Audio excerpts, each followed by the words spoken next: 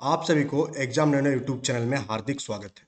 आज के क्लास में हम लोग एक मोस्ट इम्पोर्टेंट टॉपिक को कवर कराएँगे।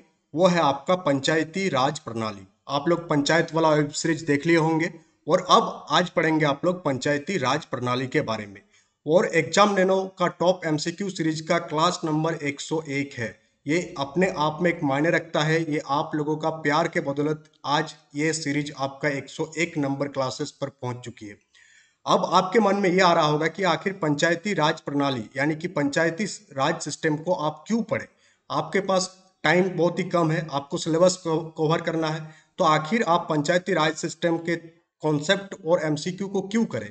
इसके पीछे का कारण है कि इससे पहले जो एग्ज़ाम जेएसएससी द्वारा कंडक्ट कराई गई, उसमें एक क्वेश्चन पूछा गया था कि स्थानीय सरकारी निकायों, पंचायतों और नगर पालिकाओं में डैश सीटें महिलाओं के लिए आरक्षित रहती है। चार ऑप्शन था कि आठवां हिस्सा वन एट्थ सीटें जो है महिलाओं के लिए आरक्षित है, या वन फिफ्थ सीटें आपका महिलाओं के लिए आरक्षित है, या वन थर्ड, या वन टेंथ। इस क्वेश्चन का आंसर आप तभी दे पाते अगर आप पंचायती राज सिस्टम को भली भांति पढ़े होते कि पंचायती राज सिस्टम कब लागू हुआ था कौन कौन सा समिति इस पर बने पंचायती राज सिस्टम पर तो इन सारे चीज़ों का निचोड़ आज की क्लास में आपको मिलने वाली है।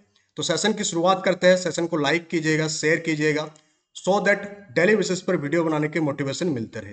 तो चलिए हम लोग सेशन की शुरुआत करते हैं। तो सबसे पहले हम लोग बात करेंगे पंचायती राज प्रणाली होता क्या है। तो हम लोग सभी मैक्सिमम लोग यहाँ पर जितने भी लोग वीडियोस देख रहे होंगे, सभी ग्रामीण क्षेत्रों से बिलोंग करते होंगे। यानी कि विलेज एरिया से बिलोंग करते होंगे। और सभी को पता है कि कुछ ना कुछ काम पड़ता है तो हम लोग पंचायत ऑफ़िस जाते हैं और वहाँ अपना कामों को निपटाते हैं। तो गाँव के स्तर पर, यानी कि ग्रामीण स्तर पर आपका जो स्थानीय स्वशासन है, उसकी एक मोस्ट इम्पोर्टेंट पार्ट है पंचायती राज सिस्टम पंचायती राज सिस्टम को क्यों लागू किया गया? ताकि ग्रामीण लेवल पर, यानी कि विलेज लेवल पर आपका लोकतांत्रिक शासन को क्या मिले? बढ़ावा मिले। स्थानीय जो समुदाय होते हैं, उसको सक्षम बनाया जा सके। और आपका जो शक्ति का जो विकेंद्रीकरण है, भारतीय संविधान में कि केंद्र स्तर पर एक केंद्र सरकार होगा, राज्य स्तर राज्य स्तर पर एक राज्य सरकार होगा उसी तरह से ग्रामीण स्तर पर क्या होगा? आपका पंचायत होगा। नगर पालिका नगर निगम वाला क्लास हम लोग कल कराएँगे। आज हम लोग पंचायती राज सिस्टम पर फोकस करेंगे। तो पंचायती राज प्रणाली को लागू करने के पीछे का जो एम था, उसमें क्या था? शक्ति का विकेंद्रीकरण डिसेंट्रलाइजेशन ऑफ़ पावर के लिए भी हम लोग पंचायती राज सिस्टम को भारत में लागू किया गया। ये मोस्ट इंपॉर्टेंट है कि पंचायती राज सिस्टम का उद्देश्य में क्या क्या शामिल नहीं है, आपसे पूछा जाएगा। तो आप याद रखिएगा कि इसमें शक्ति का विकेंद्रीकरण होता है। और इस प्रणाली के माध्यम से गाँव में क्या होगा डेवलपमेंट जो स्कीम होती है उसको लागू किया जाता है। और भारत भारत के संविधान में किस संशोधन अधिनियम के अकॉर्डिंग पंचायती राज सिस्टम को ला, लाया गया क्योंकि मूल संविधान में सिर्फ़ और सिर्फ़ पंचायती राज के बारे में चर्चा किया गया था यह पूरा का पूरा सिस्टम नहीं था। इसको बाद में सेवेंटी थर्ड कॉन्स्टिट्यूशनल अमेंडमेंट हुआ और एक एक्ट पारित हुआ उसी एक्ट में आपका पंचायती राज प्रणाली के बारे में बात किया गया है। तो ये जो आपका संशोधन अधिनियम है ये आपका 1992 में पारित हुआ था और लागू कब हुआ था ये भी आपका एग्ज़ाम में पूछा जाता है। 24 अप्रैल 1993 को ये लागू हुआ था। तो आप ये दोनों डेट या, याद रखिएगा कि सेवेंटी थर्ड संशोधन अधिनियम पारित हुआ था 1992 बट आपका लागू कब हुआ था? 24 अप्रैल 1993 को ये लागू हुआ था। दोनों डेट इंपॉर्टेंट है। तो अभी तक आपको समझ में आ गया कि पंचायती राज सिस्टम होता क्या है और इससे जुड़े हुई कुछ मोस्ट इंपॉर्टेंट बातें। अब हम लोग आगे बढ़ेंगे और उस आगे बढ़ने से पहले, अगर आप झारखंड शिक्षक भर्ती परीक्षा की तैयारी कर रहे हैं तो आप इतिहास का नोट्स एनसीआरटी वेस्ट नोट्स से ये, इसको आप एक्सेस करते हैं, कर सकते हैं, एप्लीकेशन को डाउनलोड करके। साथ ही साथ वन टू फाइव पी के लिए टेस्ट सीरीज़ वो सिक्स टू एट टी का paper third and paper four, both का आपका टेस्ट सीरीज़ आपका एप्लीकेशन में अवेलेबल है। आगे बढ़ते हैं हम लोग। फिर जब इन सारे चीज़ें हो रहा था तो एक संविधान में एक भाग जोड़ा गया पंचायती राज सिस्टम के लिए। वो कौन सा भाग है? भाग नौ, मोस्ट इंपॉर्टेंट इसको आप एकदम याद रख लीजिएगा। किसी भी तरीके से आप याद रखिएगा, आपके जिम्मा है कि आपको याद कैसे करना है कि भाग नौ में, भाग नौ में पंचायत को जोड़ा गया। पंचायती सिस्टम को, भारतीय संविधान के भाग नौ में इस एक्ट को आपको जोड़ा जोड़ा गया। अनुच्छेद कहाँ से कहाँ तक आपका भारत पंचायती राज सिस्टम से प्रावधान है? तो 243 से 243 ओ तक आपका आर्टिकल में मेंशन है किसके बारे में? पंचायती सिस्टम के बारे में। साथ ही साथ एक अनुसूची जोड़ा गया। कौन सा अनुसूची? अनुसूची इलेवेंथ शेडल ग्यारहवीं अनुसूची को जोड़ा गया, जो आपका अनुच्छेद 243 जी के साथ संबंधित है। और इसमें आपका किसके बारे में बात किया गया है? पंचायत के 29 कार्यात्मक विषय। ये आपका एक बार बीपीएससी में पूछा जा चुका है। कि आपका पंचायत राज पंचायत का कितना विषय है? बीपीएससी या आई थिंक कोई दूसरा एग्ज़ाम होगा। उसमें 29 कार्यात्मक विषय है। कितना? 29 तो नंबर ऑफ़ सब्जेक्ट्स आप याद रखिएगा। इसमें 29 विषय है। और कौन सा आर्टिकल में यह है? टू फोर्टी जी में है। और कौन सा अनुसूची में है? इलेवेंथ सिडल में इसके बारे में चर्चा किया गया है। तो तीन बातें आपको याद रखना है। भाग नौ अनुच्छेद, यानी कि आर्टिकल 243 से 243 ओ तक आपका पंचायत से संबंधित प्रावधान है। और पंचायत में कितने विषय है? टोटल 29 विषय है। कौन सा अनुच्छेद में विषय के बारे में चर्चा किया गया है? 243 जी में। और कौन सा अनुसूची? इलेवेंथ सिडल अब हम लोग आगे बढ़ेंगे और देखेंगे कि पंचायती राज व्यवस्था सबसे पहली बार कहाँ पर आई? तो पंचायती राज व्यवस्था सबसे पहली बार राजस्थान के नागौर ज़िले में ये अप्लाई हुआ। यानी जब पंचायती राज सिस्टम इंडिया में लागू हुआ। कब लागू हुआ? 1959 जब लागू हुआ तो सबसे पहली बार राजस्थान में इसको लागू किया गया नागौर ज़िले में। ना, राजस्थान में लागू होने के बाद ये कहाँ पर लागू हुआ आपका? आंध्र प्रदेश में इसकी स्थापना किया गया और उसके बाद धीरे धीरे बाकी स्टेट्स भी क्या क्या? इसको लागू किया। अब पंचायती राज व्यवस्था को और बेहतर बनाने के लिए, सिस्टम में सुधार लाने के लिए, जो भी कमी दिख रहा था उसमें सुधार लाने के लिए कुछ समितियाँ बनी, कुछ कमिटीज गठित हुई। तो कौन कौन सा कमिटीज है? और ये कमिटी से क्वेश्चन आपका बहुत सारे एग्ज़ाम में पूछा जा चुका है कि औसक मेहता समिति जो कमिटी बनाई गई, किस चीज़ के लिए बनाई गई थी? तो औसक मेहता समिति आपका पंचायती राज पंचायती राज प्रणाली से संबंधित कमिटी है। एल एम सिंघवी समिति किस विषय से संबंधित है तो पंचायती राज से संबंधित है। तो टोटल कितना है? सबसे पहला आप याद रखिएगा, सबसे पहला समिति का नाम है बलवंत राय मेहता समिति 1957 उसके बाद आया आपका औसक मेहता समिति 1977 उसके बाद आया आपका जीवी जी वी के राव समिति 1985 उसके बाद आपका आया एल एम सिंघवी समिति 1986 आफ्टर दैट थुंगन समिति, आफ्टर दैट गाडगिल समिति। और इन सारे समिति को आपको याद रखना है। एक बार आप अभी देख लीजिए, इसका स्क्रीनशॉट रख लीजिए। या ये पीडीएफ आपको एप्लीकेशन पर डलवा दिया जाएगा। नोट सेक्शन में आप जाइएगा पीडीएफ सेक्शन में तो वहाँ पर आपको ये पीडीएफ आपको मिल जाएगा। अब हम लोग आगे बढ़ते हैं और आगे हम लोग बात करेंगे कि पंचायती राज प्रणाली की कुछ विशेषताएँ है। तो कौन कौन सी विशेषताएँ है? यहाँ से भी आपको क्वेश्चन कॉन्सेप्ट वाला क्वेश्चन आपका एग्ज़ाम में पूछा जा सकता है। आपको याद रखना है कि पंचायती राज प्रणाली क्या है? थ्री टायर स्ट्रक्चर है इसमें, यानी त्रिस्तरीय संरचना है। कैसे? पंचायती राज प्रणाली, पहले विभाजन है गाँव, फिर पहले गाँव स्तर पर, दूसरा आपका ब्लॉक स्तर पर, और तीसरा आपका जिला स्तर पर होता है। तो ये कितने, कितना स्तर है? तीन स्तर है इसमें। तो ग्रामीण स्तर पर आपका क्या होता है? ग्राम पंचायत होता है। ब्लॉक स्तर ब्लॉक स्तर पर क्या होता है? आपका पंचायत समिति होता है। और ज़िले स्तर पर क्या होता है? आपका जिला परिषद होता है। तो ये तीनों आप याद रखिएगा। कि पंचायत प्रणाली का जो स्ट्रक्चर है, वो किस टाइप का है? थ्री टायर स्ट्रक्चर त्रिस्तरीय संरचना है। क्या क्या है आपका? गाँव स्तर पर आपका ग्राम पंचायत है, ब्लॉक स्तर पर आपका पंचायत समिति है और जिला स्तर पर आपका जिला परिषद अब ग्राम पंचायत हो गया, पंचायत समिति हो गया, जिला परिषद हो गया। यहाँ पर जो भी व्यक्ति फ़ंक्शन में है तो उसका चयन कैसे होता है? तो इलेक्शन के माध्यम से चयन होता है, चुनाव द्वारा चयन होता है। अगर आप पंचायत वेब सीरीज़ देख रहे होंगे तो आपको पता है कि प्रधान के चुनाव लड़ने के लिए क्या क्या होता है सारा सिस्टम आपको उस वेब सीरीज़ को देखिएगा तो और अच्छा से समझ में आएगा।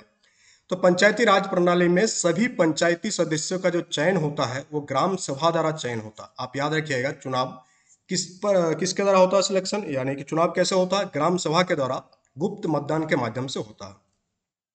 साथ ही साथ आपको बताया था कि पंचायती राज प्रणाली में क्या है? स्वायत्तता है और स्वतंत्रता है। सामुदायिक सहभागिता हम लोगों को देखने को मिलता है किसमें? पंचायती राज सिस्टम में, क्योंकि ये ग्रामीण स्तर पर काम करता है तो ग्राम के सभी लोग इसमें शामिल होते हैं। जो भी चीज़ें, जो भी केंद्र सरकार का जो भी स्कीम है, राज्य सरकार का जो भी स्कीम है, जब उसको लागू करने की बारी आता है तो पंचायत का एक इम्पोर्टेंट रोल होता है उसमें। और उस रोल को निभाने में ग्रामीण स्तर पर जो है आपका ग्राम के सभी लोग जो है सहभागिता के साथ क्या करते हैं हेल्प करते हैं और स्कीम को सक्सेसफुल बनाते हैं। तो सामुदायिक सहभागिता एक इम्पोर्टेंट फीचर्स है किसका? पंचायती राज प्रणाली का। तो ये एक इम्पोर्टेंट पार्ट है। उसके बाद हम लोग देखेंगे, जहाँ से क्वेश्चन आपका पूछा गया था रिजर्वेशन ऑफ़ सीट्स तो आप याद रखिएगा कि आरक्षित सीटों की कुल संख्या में से जितना भी सीट मान लेते टोटल सीट कुछ भी हो, और उसमें से कुछ सीट आपका आरक्षित होगा तो आरक्षित सीटों की कुल संख्या में से कम से कम एक तिहाई सीट कितना? एक तिहाई, यानी वन बटा थर्ड सीट जो है आपका, किसके लिए आरक्षित होगा? अनुसूचित जाति या अनुसूचित जनजाति के महिलाओं के लिए आरक्षित होगा। और हर एक पंचायत में, चाहे वह एस सी हो या ना हो, प्रत्येक पंचायत में प्रत्यक्ष चुनाव द्वारा भरी जाने वाली सीटों की कुल संख्या में से एक तिहाई सीट जो है आपका महिलाओं के लिए आरक्षित होगा। तो आपको याद रखना है महिलाओं के लिए कितना सीट आरक्षित है? एक तिहाई सीट आरक्षित होगा आपका। तो यहाँ पर आपको पंचायत राज सिस्टम से कॉन्सेप्ट आपको समझ में आ गया। अब साथ ही साथ कॉन्सेप्ट के साथ ही साथ आपको क्या करना है? आपको एमसीक्यू भी करना है सो so दैट आपको एग्ज़ाम का एक बेहतर तैयारी हो पाए।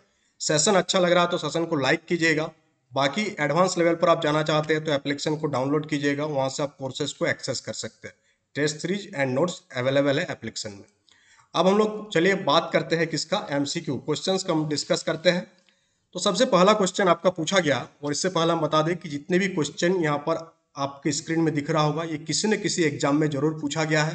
तो एक प्रकार से आपका प्रीवियस ईयर क्वेश्चन का जो है आपका कॉन्सेप्ट समझ में आएगा कि किस प्रकार से इस टॉपिक से क्वेश्चन पूछा जाता है। साथ ही साथ उन सारे क्वेश्चंस को भी डाला गया है जो आपको बेसिक को आपको क्लियर करेगा पंचायती राज सिस्टम से संबंधित।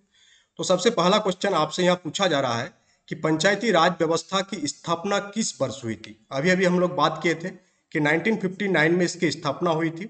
कहाँ से रा, राजस्थान के नागौर जिला में सबसे पहली बार इसको लागू किया गया था। तो पंचायती राज व्यवस्था की स्थापना किस वर्ष हुई? आपका 1959 में इसकी स्थापना हुई। सेकंड क्वेश्चन आपसे पूछा जा रहा है कि पंचायती राज का मुख्य उद्देश्य क्या है? तो अभी अभी हम लोग बात किए कि पंचायती राज का जो मुख्य उद्देश्य है वो है कि ग्रामीण विकास। ग्रामीण स्तर पर क्या करना है? डेवलपमेंट करना है। जो भी स्कीम्स है उसको सफलतापूर्वक लागू करना है, चाहे वो सेंटर का स्कीम हो, यानी कि सेंट्रल गवर्नमेंट का स्कीम हो या स्टेट गवर्नमेंट का स्कीम हो। थर्ड क्वेश्चन आपसे यह पूछा जा रहा है कि पंचायती राज व्यवस्था के अंतर्गत कितने स्तर होता है? तो हम लोग अभी अभी देखे, ग्राम स्तर पर ग्राम पंचायत, इन सारे चीज़ों को। तो टोटल कितना स्तर होता है? तीन स्तर होता है। तो हम लोग अभी अभी देखे त्रिस्तरीय संरचना, कौन सा आपका स्तर देखने को मिलता है इसमें? त्रिस्तरीय संरचना आपका पंचायती राज व्यवस्था में देखने को मिलती है। क्वेश्चन नंबर फोर आपसे पूछा जा रहा है यहाँ पर कि पंचायती राज के अंतर्गत निम्नलिखित में से कौन सा स्तर शहरी क्षेत्र के लिए होता? है तो अभी अभी हम लोग देखें, ग्राम पंचायत ग्राम स्तर पर होता है, ग्राम सभा हो गया, जिला परिषद हो गया, ये सारे आपका जो होता है, या क्या पूछा? शहरी क्षेत्र के लिए। ये सारा आपका ग्रामीण स्तर पर होता है बट शहरी क्षेत्र के लिए क्या होता? है नगर पंचायत नगर पंचायत, नगर निगम, इसके बारे में हम लोग कल की क्लास पर डिस्कस करेंगे। नेक्स्ट क्वेश्चन आपसे पूछा जा रहा है मोस्ट इंपोर्टेंट क्वेश्चन बहुत बार एग्ज़ाम में पूछा गया है ये क्वेश्चन कि भारतीय संविधान में पंचायती राज व्यवस्था के लिए किस अनुच्छेद में प्रावधान है? तो आर्टिकल 243 में आपका किसके बारे में प्रावधान है? पंचायती राज व्यवस्था से संबंधित। नेक्स्ट क्वेश्चन आपसे पूछा जा रहा है कि पंचायती राज व्यवस्था का प्रारंभिक विचारधारा किस नेता के द्वारा दी गई थी? तो महात्मा गांधी के द्वारा सबसे पहली बार विचारधारा दी, दिया गया था किस सिस्टम को लेकर के? पंचायती राज सिस्टम को लेकर के। नेक्स्ट पूछा जा रहा है question number seven total twenty question हम लोग डिस्कस करेंगे इसमें कि भारतीय संविधान के किस अनुच्छेद में पंचायतों की व्यवस्था का प्रावधान किया गया? तो वही क्वेश्चन रिपीट हो गया आई थिंक तो अनुच्छेद आर्टिकल 243 में आपका प्रावधान किया गया।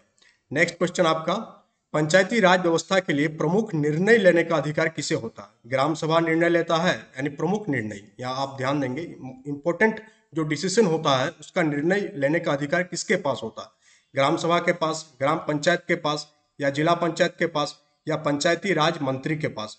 तो जिला पंचायत के पास जो होता है, आपका इंपॉर्टेंट डिसीज़न लेने का अधिकार होता। है ऑप्शन नंबर सी इसका सही उत्तर हो जाएगा। क्वेश्चन नंबर नाइन आपका बार बार वही क्वेश्चन रिपीट हो जा रहा है यहाँ पर। क्वेश्चन नंबर टेन आप देखेंगे। पंचायती राज व्यवस्था के अंतर्गत किस राज्य में ग्रामीण एवं शहरी क्षेत्र के लिए विशेष स्थान है? यानी पंचायती राज व्यवस्था के अंतर्गत ऐसा कौन सा स्टेट है जहाँ पर ग्रामीण स्तर पर और शहरी क्षेत्र के लिए कुछ स्पेशल लोकेशन है? यानी कि विशेष स्थान है। तो कौन सा राज्य में आपका? Uttar Pradesh. Option number D इसका सही उत्तर हो जाएगा। क्वेश्चन नंबर इलेवन आपका। पंचायती राज व्यवस्था के अंतर्गत किस स्तर पर काम किया जाता है? तो पंचायती राज व्यवस्था के अंतर्गत आपका ग्राम स्तर पर, नगर स्तर पर और तहसील स्तर पर काम किया जाता। है ऑप्शन नंबर डी इसका सही उत्तर हो जाएगा। पंचायती राज व्यवस्था के अंतर्गत किस नेता का अधिकार सर्वोच्च होता? है तो आपका ग्राम प्रधान। आप अभी पंचायत का वेब सीरीज़ देख रहे होंगे और वहाँ देखे होंगे ग्राम प्रधान का क्या पावर है। तो सबसे ज़्यादा पावर किसके पास होता है? अधिकार सर्वोच्च। तो किस, किसका अधिकार सर्वोच्च होता है? आपका ग्राम प्रधान का अधिकार जो है सबसे सुप्रीम होता है, हाईएस्ट होता है। क्वेश्चन नंबर थर्टीन की ओर आगे बढ़ेंगे हम लोग। सेशन को लाइक करते रहिएगा शेयर कीजिएगा, जो भी डाउट है कमेंट बॉक्स में कमेंट कीजिएगा। पंचायती राज व्यवस्था के अंतर्गत किसका नामो नाम आयोग नहीं होता, यानी किसके नाम पर कोई भी आयोग नहीं होता।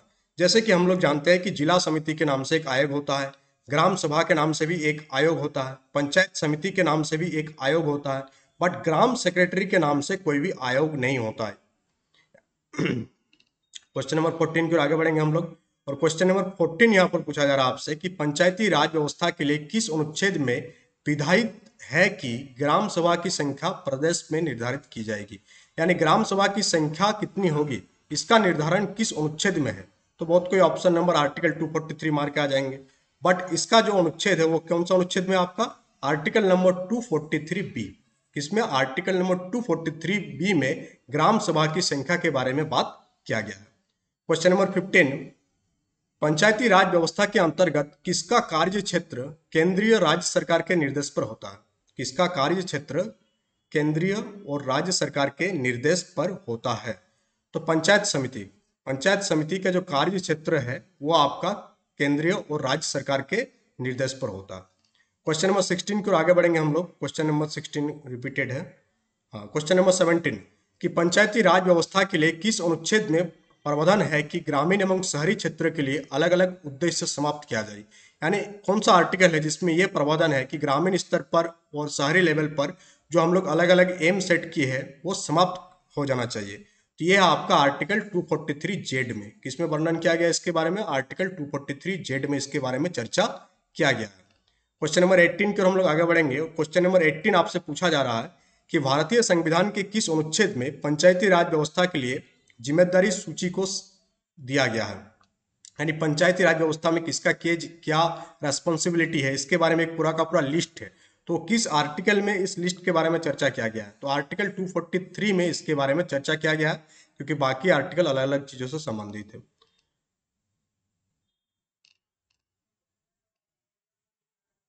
क्वेश्चन नंबर ट्वेंटी है आपका। पंचायती राज व्यवस्था के अंतर्गत निम्नलिखित में से किसके प्रमुख के लिए निर्देशन दिया गया है। तो जिला प्रमुख के लिए आपका निर्देशन दिया गया है। तो इस प्रकार से टोटल ट्वेंटी क्वेश्चन हम लोग कंप्लीट किए। आज का सेशन कैसा लगा? कमेंट बॉक्स में कमेंट करके आप लोग बताइएगा। और जिसको भी नोट्स वगैरह एक्सेस करना है एप्लीकेशन को आप लोग डाउनलोड कर लीजिएगा। आप लोग वहाँ पर पेड कोर्सेस में जाएँगे। तो आपको नोट्स जो है बहुत ही मिनिमल प्राइस में आपको मिल रहा है। पहले इसको हम लोग ट्वेंटी फाइव में लॉन्च किए थे। बट इसको उसी टाइम बताए थे कि इसका प्राइस जो है धीरे धीरे बढ़ता जाएगा। क्योंकि इसका जो प्राइस है वो सेवेंटी फाइव है। बट अब इसका प्राइस आपको कितना में मिल रहा है थर्टी रुपीज़ में आप इसको एक्सेस कर सकते हैं इस नोट्स को। जहाँ हम लोग क्लास नाइन टेन और ट्वेल्व का सारे एन चैप्टर्स को डाल दिए हैं और इलेवेंथ का भी एक दो दिन में आपका कंप्लीट हो जाएगा। आप वन टू फाइव पीआरटी का टेस्ट सीरीज़ एक्सेस कर सकते हैं। टेस्ट सीरीज़ सेक्शन में जा करके टोटल सेवन टेस्ट आपका लाइव हो गया है और दो तीन टेस्ट बचा हुआ जो कि आपका बहुत ही जल्द आपको लाइव कर दिया जाएगा। पेपर थर्ड का भी आपका छः टेस्ट आपका लाइव हो गया है। उन सारे टेस्ट को आप एक्सेस कीजिए, सारे टेस्ट को देने के बाद अपना परफॉर्मेंस को आप जज कीजिए। उसके बाद आपका जो भी वीक एरिया है, उन वीक एरिया पर आप काम कीजिए तो आपको बेहतर रिज़ल्ट आपको एग्ज़ाम में आपको देखने को मिलेगा। तो इन और साथ ही साथ paper four six to eight TGT paper four SST वालों के लिए भी आपका टेस्ट सीरीज़ लॉन्च कर दिया गया है। अभी फ़िलहाल आपको एक ही टेस्ट दिख रहा होगा बट एक दो दिन के अंतर्गत आपको तीन और चार टोटल पाँच टेस्ट आपका अपडेट हो जाएगा। सारे क्वेश्चन आपका बन रहा है। क्वेश्चन हाई लेवल का हम लोग रख रहे हैं। सो दैट एग्ज़ाम में आने के चांसेस ज़्यादा हो, आपका कॉन्सेप्ट क्लियर हो और साथ ही साथ आपको टेस्ट देने में मज़ा आए। तो इन सारे चीज़ों को ध्यान में रखने के कारण ही थोड़ा बहुत आपको लेट देखने को मिलता होगा चीज़ों को बट आपको क्वालिटी के साथ कोई कंप्रोमाइज आपको देखने को नहीं मिलेगा। आपको जो क्वालिटी आपको बताया जा रहा सेम क्वालिटी आपको टेस्ट सीरीज़ और नोट्स में आपको देखने को मिलेगा। आप एप्लीकेशन डाउनलोड कीजिए नोट्स का सैंपल वहाँ दिया हुआ है, उन सारे सैंपल को आप देखिए, उसके बाद आप डिसाइड कीजिए कि आपको कोर्स को एक्सेस करना है या नहीं है। दैट्स टोटली आपन यू ये पूरा का पूरा आपके ऊपर है। बाकी कोई भी और डाउट है तो आप जो मोबाइल नंबर है, आपको डिस्क्रिप्शन बॉक्स में मोबाइल नंबर दिखेगा। उस मोबाइल नंबर में आप फ़ोन कर लीजिएगा, वहाँ से भी आपको डाउट क्लियर कर दिया जाएगा। चलिए हम लोग मिलते हैं कल सेशन में। कल आपका क्लास नंबर 102 होगा। और सेशन को लाइक कीजिएगा, शेयर कीजिएगा, इससे मोटिवेशन मिलते रहता है डेली बेसिस पर वीडियो, वीडियोज़ बनाने का। और हम लोग बहुत ही जल्द डी ट्रिपल एस का भी कोर्स लॉन्च करेंगे, यूट्यूब में भी और एप्लीकेशन में भी सीडीपी का भी और बाकी एसएसटी का भी। चलिए मिलते हैं कल के सेशन में। Thank you.